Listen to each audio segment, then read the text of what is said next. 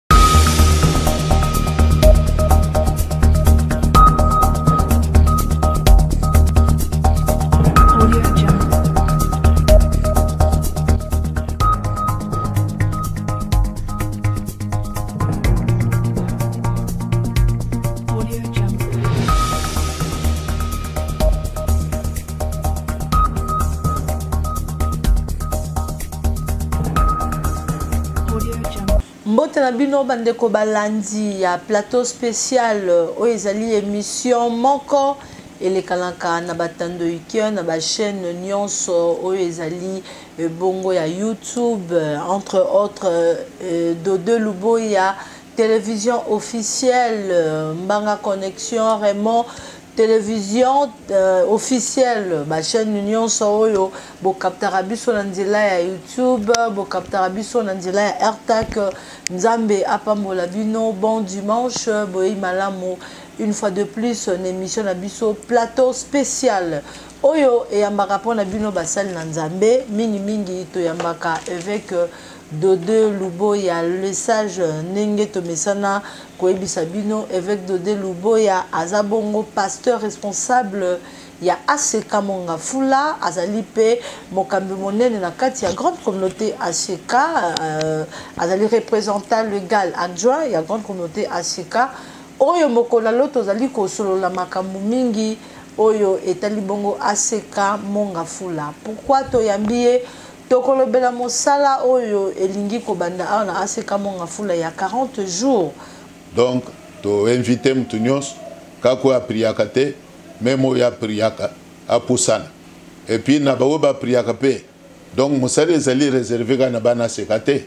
moto nyonso ndenge nalobi ke ekelamu nyonso ya nzambe ezala opriyaka na katolike ezala opriyaka na misioni opriyaka soki na eglize nini mosusu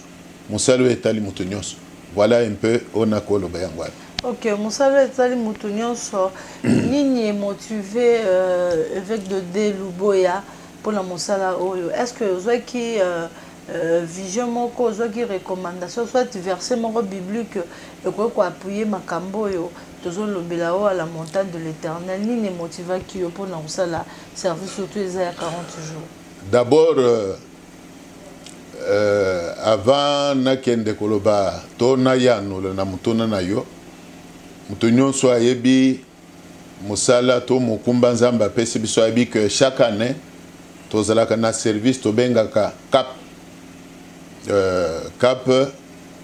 lokola sikoyo oyo tolanse wana ezali cap cap elingi koloba tout simplement campagne de prière ezali mosala tolansaka chaque année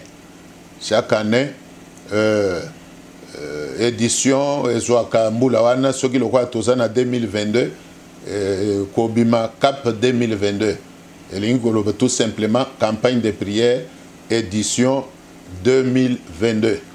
c'est d'abord ça en dehors de cela euh, soki tokoti na kati ya bible mokanda na nzambe ezolobe que ne vous inquiétez de rien wana Mokanda ya Epitre de Paul aux Philippiens, chapitre 4, verset 6. Biblia ezoloba ke ne vous inquiétez de rien, mais en toute chose faites connaître vos besoins à Dieu par des prières et des supplications. Alors, mosala oyo mingi mingi eh, tolansaka yango mingi mingi presque au début de l'année. Moto nyonso na ebandeli ya mbula azalaka na ba preoccupation tel que mosusu aza na mikakatano azomituna eske mbula oyo ekosila to ekosila te mosusu azali na makambo makasi etelemeli ye azomituna nakosala nini mpo makambo oyo esila mosusu mpe bitumba kaka ya se ya moi elekeli ye azomituna mpe na bitumba oyo mbula oyo nakolonga to nakolonga te ainsi de suite bato batondi na mituna ebele na mitu nasala nini mpo na gagne vie nasala nini mpo nabika parfois na malade etungisa eh, ngai ainsi de suite alors nzambe na kotala nyonso wana bible elobi ne vous inquiétez de rien donc na likambo nyonso oyo oza na yango Biblia elobi komitungisa na ntina na ntina na eloko te, me na nyonso Biblia elobi bomema posa to bisengeli na bino epai na Nzambe na nzela ya losambo, na nzela ya prière. Alors, tango Biblia ezolobe que euh, faites connaître vos besoins, vos préoccupations à Dieu. Tomona mama Anna asala prière wana. Lera azobondela pona koluka delivrance na sterilite azoyebisa nzambe si tu daigne si tu daigne donner à ta servante un enfant mâle si tu daigne donc c'est une prière de supplication voilà alors euh, comme ndenge otunaki motivation alors nous disons que motivation c'est d'abord liloba na nzambe oyo ezali kotinda biso ke na makambo nyonso ekozala ezo préoccupe biso bana na nzambe tokimela na yango liboso na nzambe na nzela ya losambo voilà okay, na nzela ya losambo moto oyo akoya na montant de l'éternel papa azala na attitude nini azoya koluka nzambe akomema eloko nini na kati ya campagne oyo comment moto akoki kose présente na montagne de l'éternel kose présente lolenge nini euh, d'abord euh... merci mpo na question nakobanda na kotalisa ke mosala ekozala biteni biteni mosala ekozala biteni biteni eh, d'abord euh, par rapport ya question otuni moto aya na attitude nini c'est ça mm. alors eloko nakoloba pour l'instant ezali ya ke moto aya na attitude ya kondima kondima wana Ebanda nanu na eteni ya kotalisa que likambo nyonso oyo oza na yango likambo nyonso ekozala na vie na yo nzambe aza capable ya kosilisa yango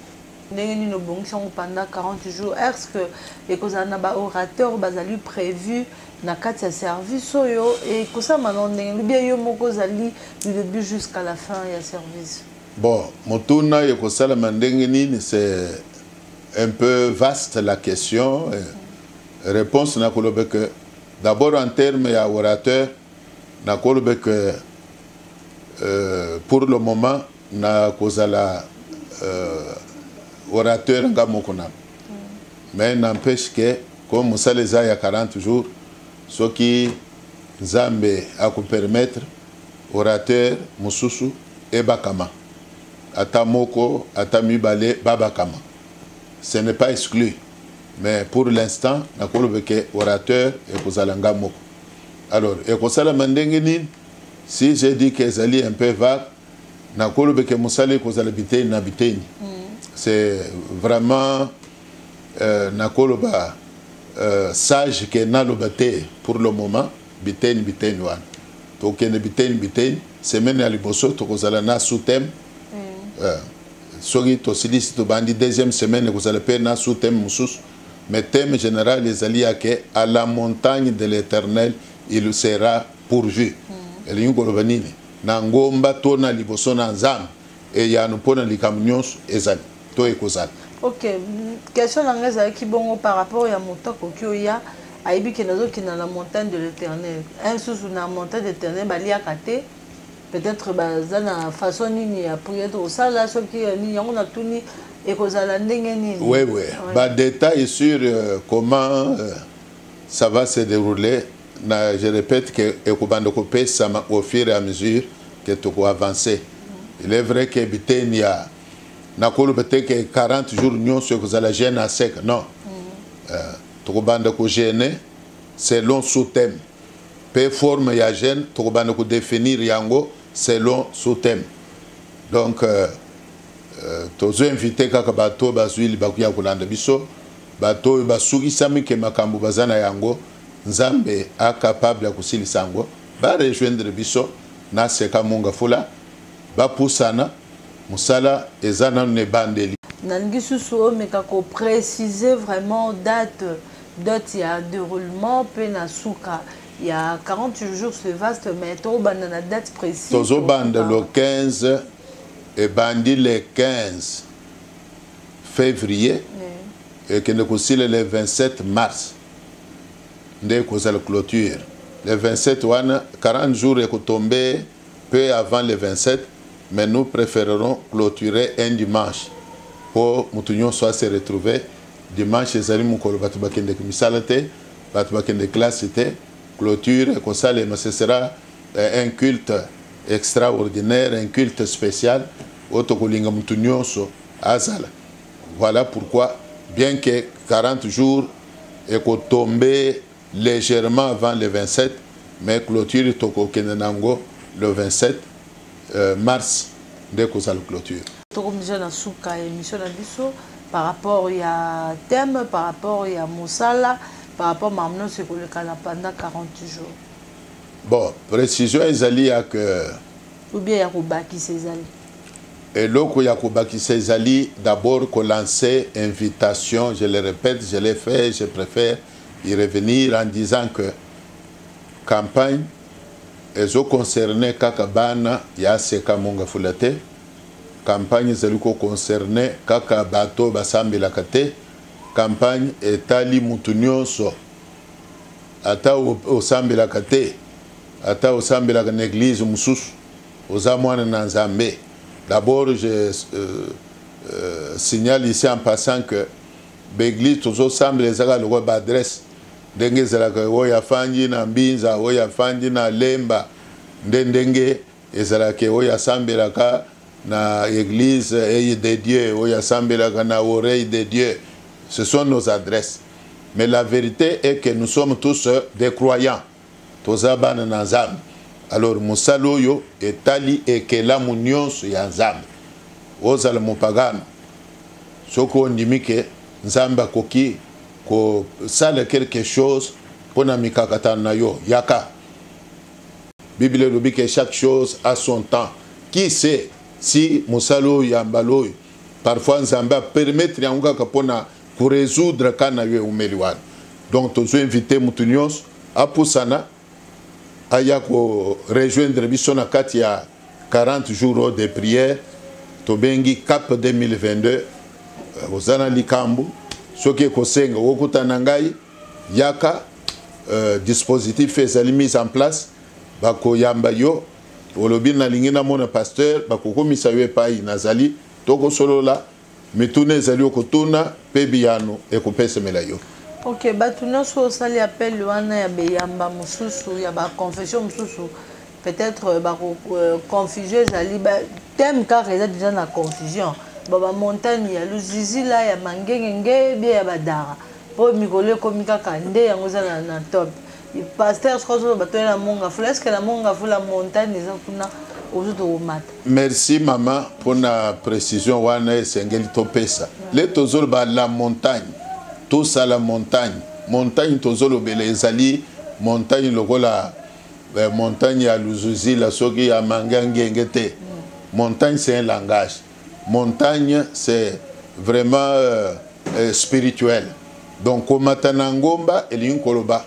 kokota prière kokota mabondeli le tozoloba la montagne